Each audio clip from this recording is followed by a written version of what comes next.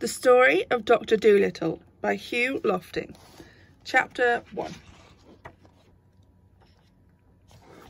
Puddleby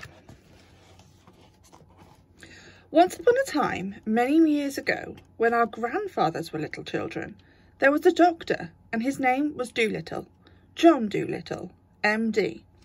M.D. means that he was a proper doctor and knew a whole lot.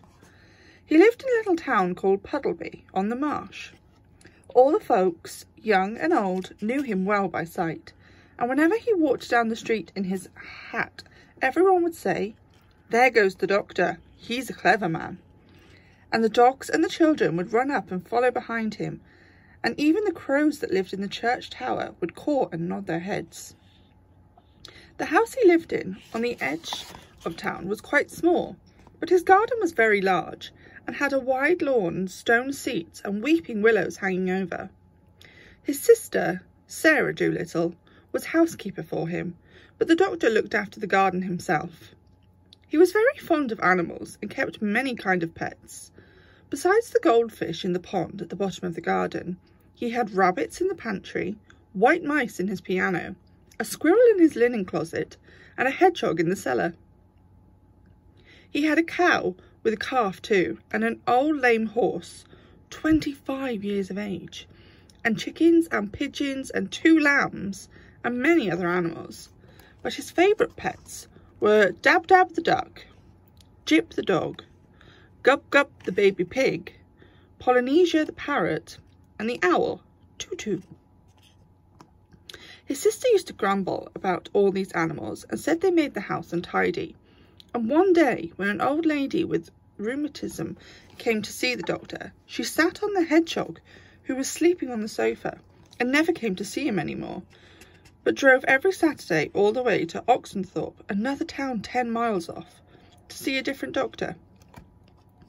Then his sister Sarah Dolittle came to him and said, John, how can you expect sick people to come and see you when you keep all these animals in your house? It's a fine doctor would have his parlour full of hedgehogs and mice. That's the fourth person these animals have driven away. Squire Jenkins and the parson say they wouldn't come near your house again, no matter how ill they are.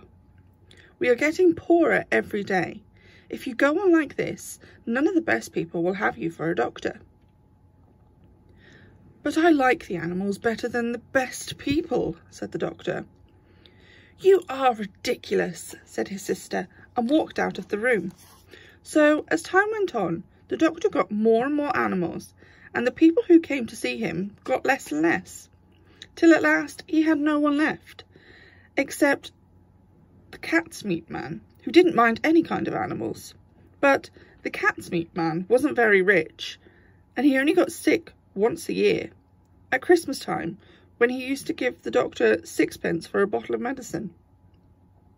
Sixpence a year wasn't enough to live on, even in those days long ago, and if the doctor hadn't had some money saved up in his money box, no one knows what would have happened.